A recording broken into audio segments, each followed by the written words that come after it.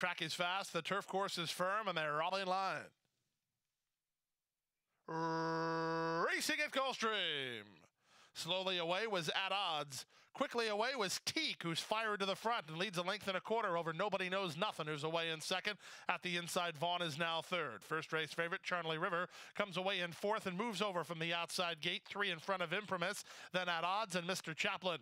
They leave the backstretch and move on to the far turn at two to one. It's Teak who has the lead by two. Nobody Knows Nothing is racing in second. Charlie River on the outside third. Back to fourth is Vaughn, rallying three wide as at odds after missing the start. In between horses is Imprimis and four back to the trailer, Mr. Chaplin. As they went the opening quarter in 21 and 3, they arrive at the top of the stretch. Teak turns first with the lead by two. Toward the inside, Imprimis trying to spring the upset and get on track second. On the outside, and nobody knows nothing with an eighth of a mile left to go. Teak still has the lead, but Imprimis and Montalvo at 30 to 1 have now overhauled Teak, and it's Imprimis to spring the upset. Teak was second. Nobody knows nothing third. Vaughn fourth and 56 and 1.